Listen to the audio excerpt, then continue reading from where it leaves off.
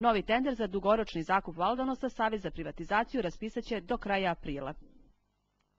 A u Mansu tvrde da nisu odgovorni za propadanje tendera za Valdonos.